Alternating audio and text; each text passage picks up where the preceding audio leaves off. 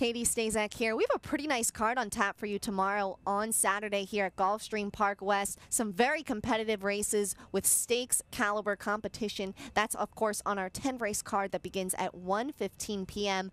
The headliner, in my opinion, is the fifth race. It's a five furlong turf allowance for fillies and mares. And in this spot, we are going to see perfect step from the Peter Walder barn, fresh off her victory in the five furlong hard worker stakes. She's won four in a row. She's looking for her fifth straight. She has not lost since joining the Walder Barn. He claimed her just three starts ago. This is a hard knocking talented filly, but she's going to face some tough competition here. Even though she's dropping out of a stake for this allowance, she faces stakes caliber competition in stakes winner Katie's Kiss, as well as Akina and Catching Fireflies, returning off a layoff from the Ralph and Nicks barn. It's going to be a fun race, a five furlong turf sprint. Those are always exciting, especially here at the Fall Turf Festival at Gulfstream Park West. I'll see you right back here tomorrow.